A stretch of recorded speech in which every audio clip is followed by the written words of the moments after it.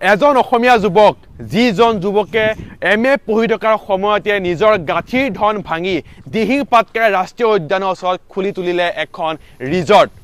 পঢ়ি থকাৰ সময়তে নিজে স্বাৱলম্বিতাৰ পথ বাছি ল'লে এজন যুৱক আৰু যিজন যুৱকৰ নাম হৈছে মানস জ্যোতি বৰুৱা। নমস্কাৰ। আৰু এইখনে হৈছে দিহিং পাটকাই ৰাষ্ট্ৰীয় উদ্যানৰ সমীপত থকা ত্ৰিসন্ধ্যা নামৰ ৰিজৰ্ট। বৰুৱা নমস্কাৰ। প্ৰথমতে স্বাগতম জনালোঁ মোৰ ইউটিউব চেনেললৈ আপোনাৰ এটা ডাঙৰ পদক্ষেপ পঢ়ি থকাৰ সময়ত শিক্ষা জীৱনৰ সময়তে আপুনি খুলি তুলিলে এখন ৰিজৰ্ট আৰু যিখন ৰিজৰ্টৰ লোকেশ্যনটো হৈছে আমাৰ দিহিং পাটকাৰ ৰাষ্ট্ৰীয় উদ্যানৰ সমীপত। মানে ক'বলৈ গ'লে দিহিং পাটকাৰ ৰাষ্ট্ৰীয় উদ্যানৰ গেটৰ ফ্ৰণ্টেদিয়ে গ'লে দুই কিলোমিটাৰ আঢ়ৈ কিলোমিটাৰ গ'লে আপোনালোকে দেখা পাব ত্ৰিসন্ধ্যা নামৰ ৰিজৰ্টখন মানে ডিগবৈ আৰু দুলীয়াজান সংযোগী পথটোৰ কাষতে আছে সেই ত্ৰিসন্ধ্যা নামৰ ৰিজৰ্ট আৰু ডিগবৈ আৰু দুলীয়াজান ৰাস্তাৰ সংযোগী পথৰ কাষতে আছে এখন দিহিং পাটকাই ৰাষ্ট্ৰীয় উদ্যান। প্ৰথমে দাদাৰ পৰা জানিবলৈ বিচাৰিম যিহেতু আমি ব্যৱসায় লাইনলৈ অহাৰ আগতে আপোনাক সুধিম যে পঢ়ি থকাৰ সময়তে এম এ কোৰ্চ কৰি থকাৰ সময়তে নিজৰ গাঁঠিৰ ধন ভাঙি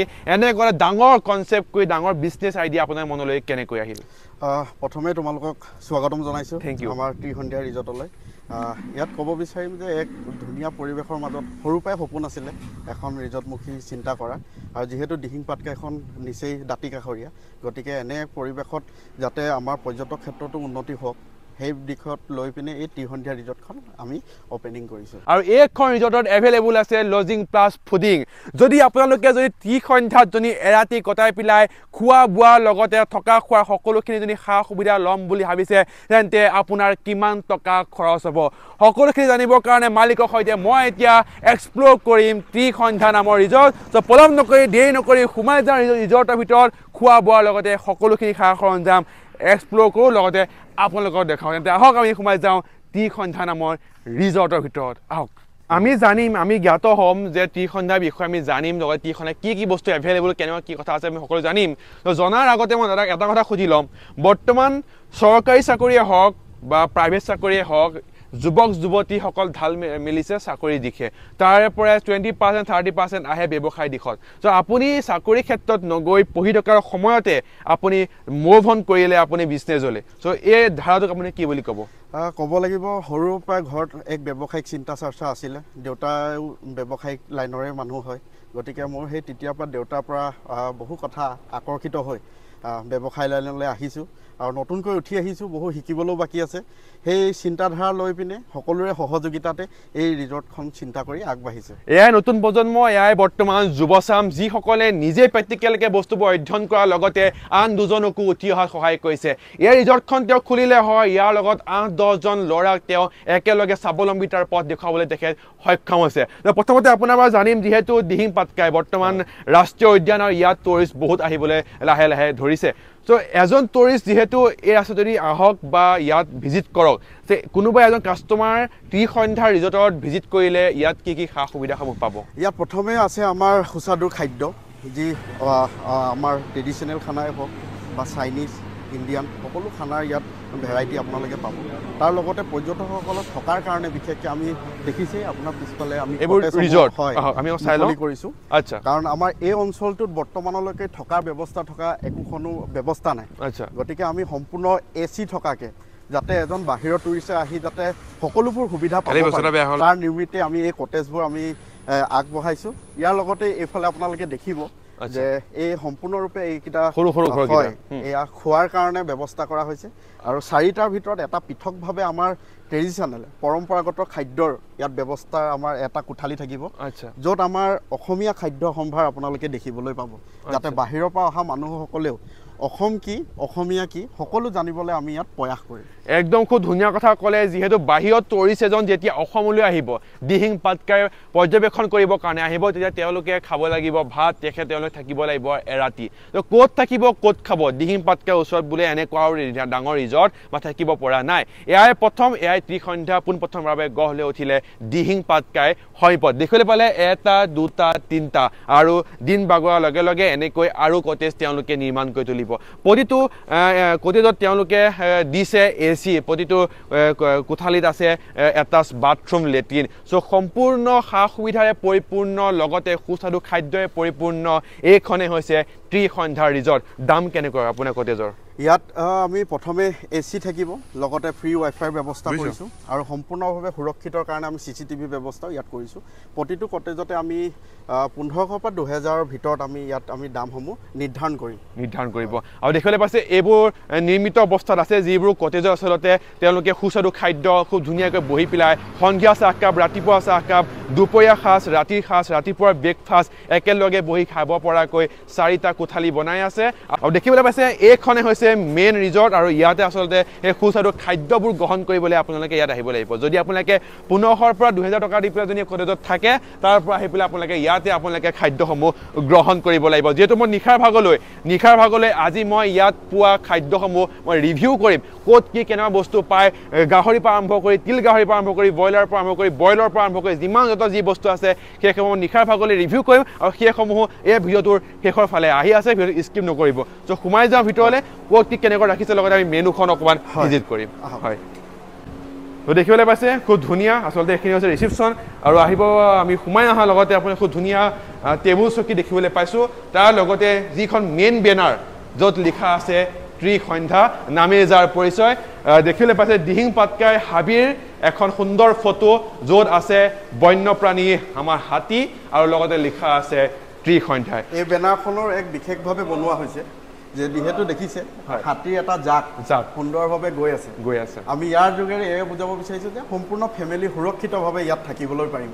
একদম। হয় আৰু এক ওপৰলৈ গৈ থকা গৈ থকা আমি চিত্ৰ আমি ইয়াত ডাঙৰ পৰা সৰুলৈ এক গতিধাৰা আমি। দেখিবলৈ পাইছোঁ। চ' আমি পলম নকৰোঁ পলম নকৰোঁ কাৰণ ইয়াৰ যোনটো প্ৰাইচটো কোনোবা এখনত খাবলৈ অহাৰ লগতে ৰাইজে বিচাৰ কৰে যে ইয়াত সুস্বাদু খাদ্যৰ মূল্য কেনেকুৱা। চ' ইয়াক কোৱাৰ আগতে দেখিবলৈ পাইছোঁ খুব ধুনীয়াকৈ আচলতে হাইজিন মেইনটেইন কৰিছে খুব ধুনীয়াকৈ আপোনাৰ গিলাচ বাতি চামুচ খুব ধুনীয়াকৈ দিছে খুব ধুনীয়াকৈ ক্লিনকৈ ৰাখিছে যাতে এ, বাহিৰত টুৰিষ্ট এজন আহিও খুব ধুনীয়াকৈ সুস্বাদু খাদ্য ভালকৈ ক্লিনকৈ আচলতে ইয়াত খাদ্য গ্ৰহণ কৰিব পাৰিব। এইফালে দেখিছে পাকঘৰটো আছে আপোনালোকে দেখি থাকিব পাৰিব যে কোনে কেনেকৈ আচলতে ইয়াত খাদ্যসমূহ বনাই আছে। ত' এইখিনি হৈছে মেইন এৰিয়া য'ত আপোনালোকে সুস্বাদু খাদ্য গ্ৰহণ কৰিব পাৰিব। ত' মেনুখন যদি আমি চাবলৈ যদি যাওঁ চ' গাহৰি বইলৰ লগত বাঁহ সাজ two eighty two fifty two eighty মানে ক'বলৈ গ'লে দুশ টকা আঢ়ৈশ টকাৰ আণ্ডাৰত যিবোৰ আমাৰ অসমীয়াৰ অসমীয়াৰ খাদ্যসমূহ আচলতে ইয়াত কম দামতে উপলব্ধ তেওঁলোকে কৰিছে।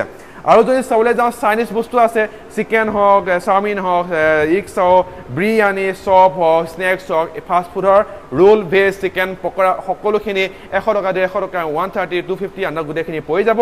আৰু যদি আমি থালি ক'বলৈ যাওঁ ভেজ থালিৰ প্ৰাইচ কিমান ৰাখিছে? ভেজ থালিৰ প্ৰাইচ ইয়াত আপোনাৰ এশ টকা ৰখা হৈছে য'ত আপোনাৰ দুই ধৰণৰ আপোনাৰ দালি পাব তিনি ধৰণৰ পিটিকা পাব দুই ধৰণৰ ভাজি পাব ফ্ৰাই থাকিব।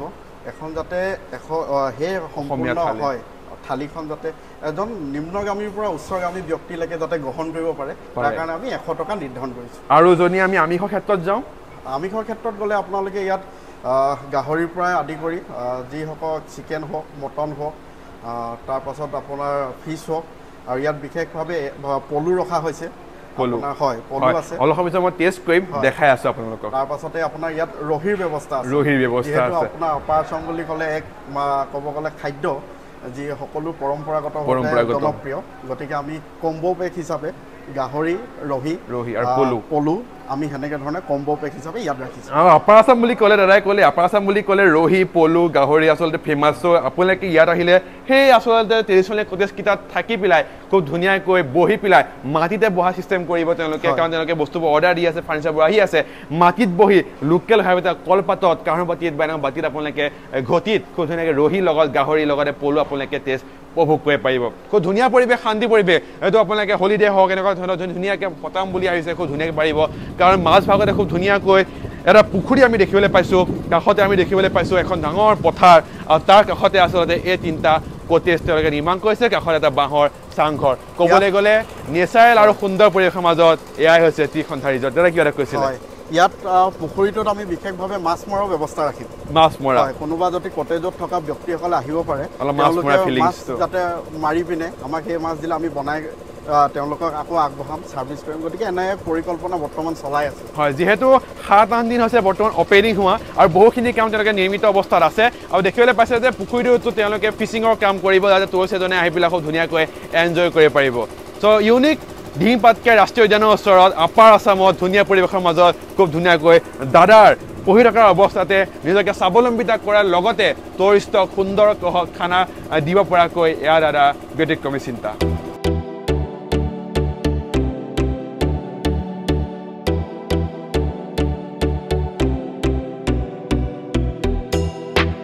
যিহেতু মই আপোনালোকক কৈছিলোঁ যে ত্ৰিসন্ধ্যাত ৰহিৰ লগতে গাহৰি আৰু পলু এটা কম্ব' পেক আচলতে ইয়াত উপলব্ধ।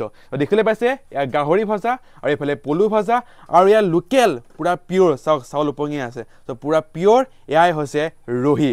চ' যদিও মই ৰহি আজিলৈকে খাই পোৱা নাই বাকী গাহৰি আৰু পলু টেষ্ট কৰি পেলাই ইয়াৰ সুস্বাদু খাদ্যৰ কেনেকুৱা সোৱাদ মই দেখাম। এয়া মই টেষ্ট কৰিম। বঢ়িয়া। এয়া পলু। এয়া পলু। আল্টিমেট টেষ্ট ত' এইটো এটা কম্ব' পেক য'ত গাহৰি পলু আৰু ৰহিৰ সৈতে এক ধুনীয়া কম্ব' পেক ত্ৰিসন্ধ্যাত উপলব্ধ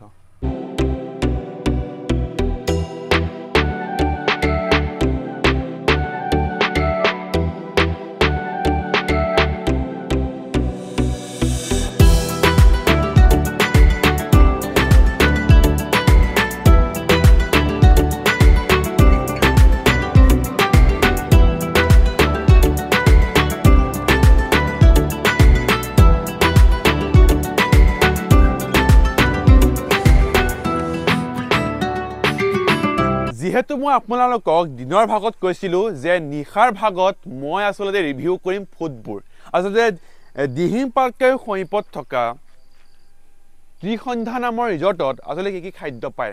ইয়াত স্পেচিয়েল কি? ইয়াত গাহৰি বা হওক চিকেন হওক মাছটো আচলতে কেনেকুৱা ধৰণে ৰিপ্ৰেজেণ্ট কৰে? কোনোবা যদি টুৰিষ্ট এজন যদি বাহিৰৰ পৰা আহে তেন্তে ইয়াত আচলতে খাই পেলাই কি সুস্বাদু গ্ৰহণ কৰিব। ত' এইবোৰ চাবৰ কাৰণে মই দিনৰ ভাগত কৈছিলোঁ যে আপোনালোকক মই আজি নিশাৰ ভাগত এই ফুডবোৰ শান্তি পৰিৱেশত খুব ধুনীয়াকৈ আচলতে মই ৰিভিউ কৰিম আৰু সেই ৰিভিউ মই আপোনালোকক জনাম। কাৰণ আপোনালোকে ইমান দূৰৰ পৰা আহিব দিহিং পাৰ্ককে চাবৰ কাৰণে। ইমান দূৰৰ পৰা জাৰ্ণি কৰি আহিব। জাৰ্ণি কৰি যদি আপোনালোকে আহি পেলাই যদি ত্ৰিসন্ধ্যাত সোমাই পেলাই যদি আপোনালোকে অলপমান সুস্বাদু খাদ্য গ্ৰহণ কৰিম বুলি সোমায় তেন্তে আপোনালোকে কিমান দূৰ ইয়াৰ সাৰ্থক হ'ব সেই সুস্বাদু খাদ্য গ্ৰহণ কৰিবৰ কাৰণে। চ' মালিক আছে চ' দাদা আছে মালিক মালিক বুলি অথনিৰ পৰা কৈ আছোঁ কাৰণ যিহেতু ত্ৰিসন্ধ্যাৰ ৰিজৰ্টৰ মালিক চ' মালিক বুলি সম্বোধন কৰিম। চ' আমি আপোনাক কৈছিলোঁ যে আমি নিশাৰ ভাগত আমি ৰিভিউ কৰিম ফুডবোৰ ভাতৰ পৰা আৰম্ভ কৰি মাংসৰ পৰা আৰম্ভ কৰি মাছ চালাডৰ পৰা যিমানখিনি যত- যি বস্তু আছে বা চাওমিন হওক পোলাও হওক যিমান আছে। চ' সেইবোৰ আমি এতিয়া ৰিভিউ কৰিম খুব ধুনীয়াকৈ ৰেডি হৈ আছে। চ' মই আজি ভিডিঅ' বনাম বুলি নহয় চ' আপুনিও যদি তেনেকৈ আহে আপোনাক তেনেকৈয়ে খাব দিব। ন কি কয়? হয়, হয়, হয়। চ' আজি আমি কি কি স্পেচিয়েল আমি চাম?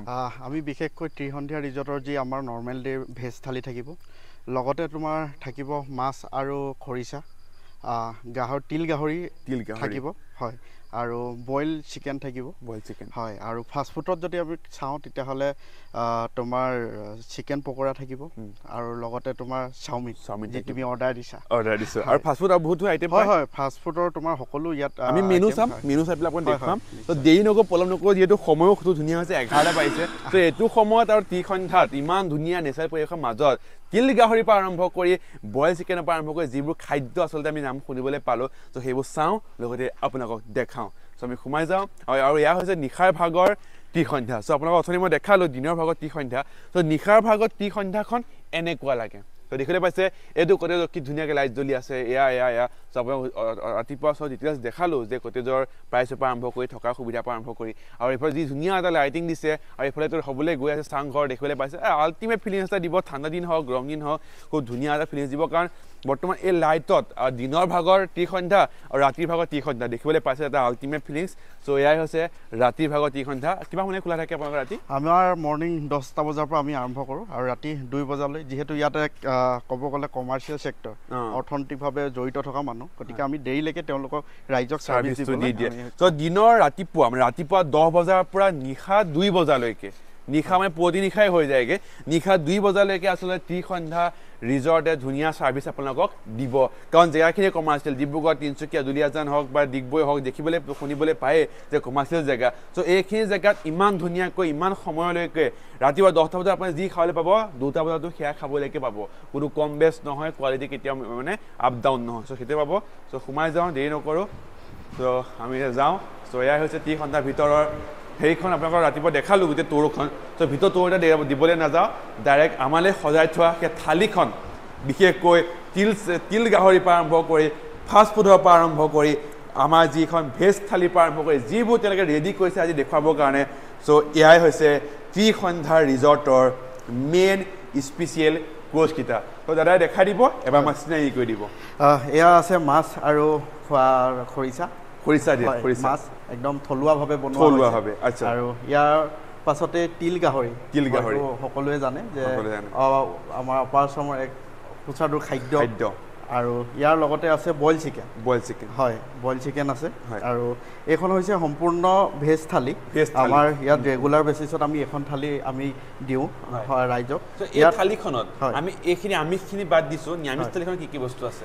নিৰামিষ থালিখনত আছে ইয়াৰ গ্ৰীণ চাটনি। যোনটো পদুনাৰ চাটনি আছে। হয়। ইয়াতে পচলা মাছৰ মাথাৰ আছে আচ্ছা ইয়াত আছে তোমাৰ আলু পিটিকা সম্পূৰ্ণৰূপে জুইত পোৰা জুইত পুৰা হয়। আচ্ছা আৰু ইয়াত ভেন্দি আলু ভাজি। বেঙেনা আলু ভাজি।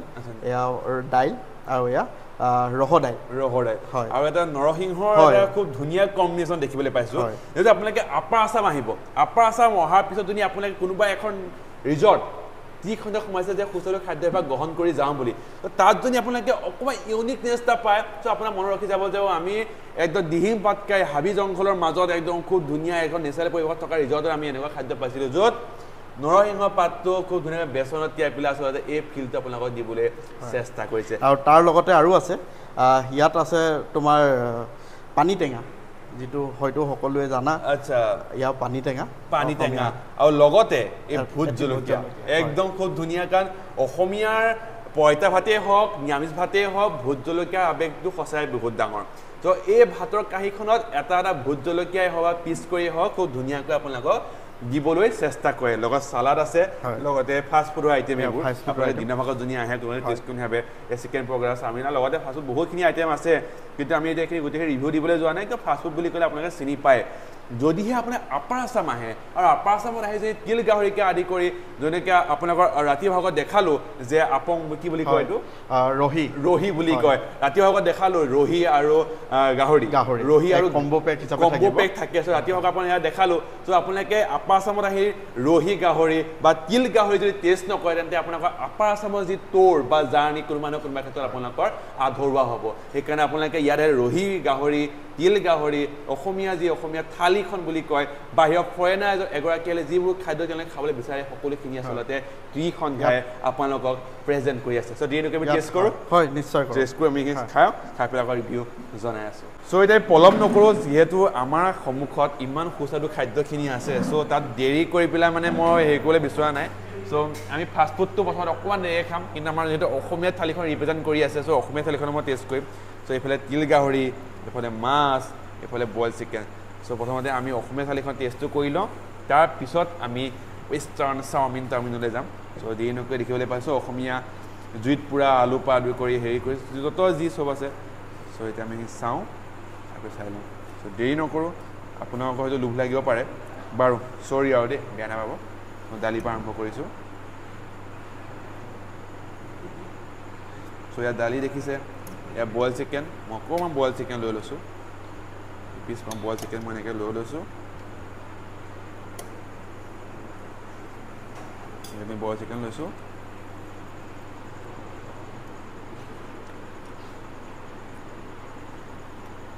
অঁ মানে অকল বইল চিকেন নহয়। ইয়াত মানে কিবা কিবি বহুত আছে। য'ত মানে আপুনি যদিও খাই আছে বইল চিকেন কিন্তু আল্টিমেট ফিল এটা পাই আছে। খাই লৈছোঁ এইটো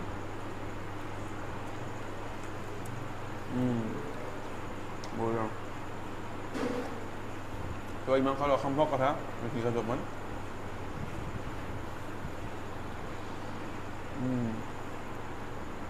চ' এইফালে আলু এইফালে আলু ভাজি ভেন্দি এইফালে শাক।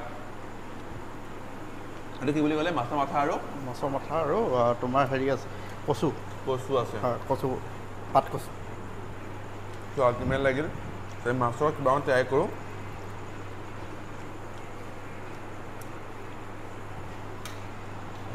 মাছ মানে ট্ৰাই কৰিছোঁ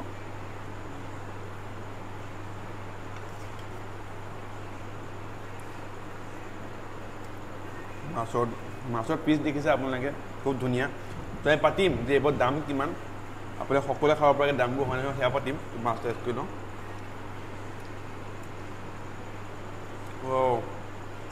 মানে অকণমান সেই যোনটো মানে কি বুলি কিহেৰে বনাইছে বুলি কৈছে এইটো এয়া তোমাৰ আছে গাছ আৰু হয় গাজ আৰু তোমাৰ বিলাহী দি বনোৱা হৈছে। মানে গাজ মাছটো গাজৰ যোনটো ফিলটো মানে মুখত একদম টেঙেচি ভাৱটো লাগি গৈছে।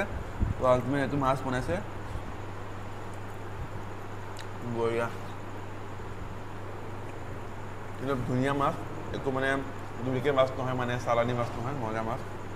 আৰু এইফালে আমাৰ অসমীয়া পাছতে আছে তিল গাহৰি। তিল গাহৰি। পিছ খাই দেখিলে পাইছে আপোনালোকে।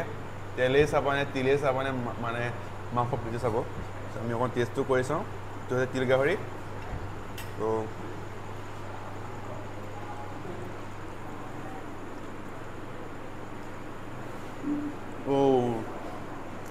তিলৰ যোনটো ফিলটো আৰু মানে গাহৰি বুলি ক'লে আমাৰ অসমীয়াসকলৰ মানে যোনটো গাহৰি যোনটো তেলৰ পিচটো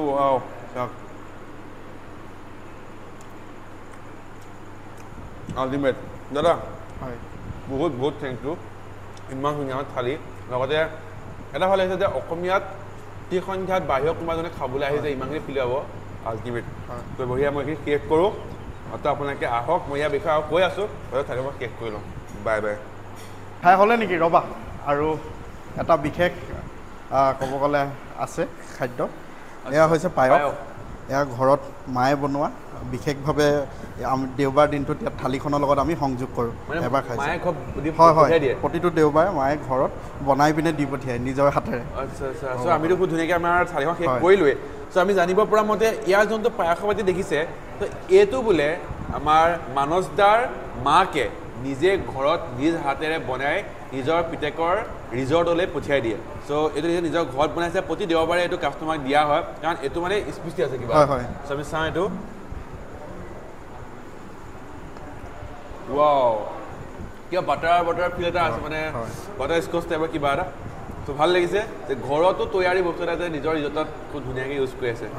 প্ৰতিটো দেওবাৰতে আমি দিওঁ। স্পেচিয়েল হিচাপে।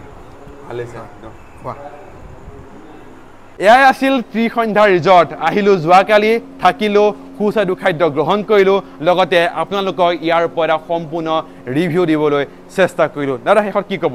শেষত প্ৰথমে তোমাক ধন্যবাদ জ্ঞাপন কৰিম। You. যে এনে এক অঞ্চলত আহি তুমি আমাৰ এই ত্ৰিসন্ধিয়া ৰিজৰ্টখন কি ধৰণে ৰাজ্যিকবাসীৰ আগত দাঙি ধৰিলা প্ৰথমে তোমাক বহু বহুত ধন্যবাদ. আৰু যিমানখিনি পাৰিলোঁ তোমালোকক চেষ্টা কৰিলোঁ ভাল ধৰণে যাতে তোমালোকে ইয়াত সুবিধাবোৰ পোৱা আৰু সঁচা সুবিধাখিনি যাতে ৰাইজৰ আগত দাঙি ধৰা। তাৰ কাৰণে মই তোমাক বহু বহুত ধন্যবাদ জ্ঞাপন কৰিলোঁ। বহুত বহুত ধন্যবাদ। থেংক ইউ দাদা। খুব ধুনীয়া হস্পিটেলিটি আৰু যিহেতু নিয়মিত অৱস্থাত আছে আৰু কাম কৰিবলৈ বাকী আছে মাথো আহক দিহিং পাটকাইলৈ আহিলে আধাতে উভতি নাযাব। আহক আৰু ইয়াত খুব ধুনীয়াকৈ খাদ্যৰ লগতে ৰাতি এৰাতি থাকি পেলাই খুব ধুনীয়া এটা ফিল লৈ আপোনালোকৰ ঘৰৰ মোৰ হ'ব পাৰে। তো ভিডিঅ'টো এইখিনি সামৰিছোঁ যদি ফেচবুকত চাই আছে পেজটো ফ'ল' কৰিব যদি ইউটিউবত চাই আছে চেনেলটো ছাবস্ক্ৰাইব কৰিব আৰু যদি ভিডিঅ'টো এতিয়াও শ্বেয়াৰ কৰা নাই শ্বেয়াৰ কৰি লাইক এটা কৰি কমেণ্ট এটা কৰি দিব এতিয়া নতুন এটা ভিডিঅ' বনাবলৈ আমি উৎসাহ পাওঁ লগতে এওঁলোক আগবাঢ়ি যাবলৈ অকণমান সাহস পাব। ভিডিঅ' এইখিনি সামৰিছোঁ বাই বাই আকৌ লগ পাম অন্য নতুন ঠাইৰ সৈতে নতুন ব্যক্তিৰ সৈতে নতুন এটা কনচেপ্টৰ সৈতে। Thank U bye bye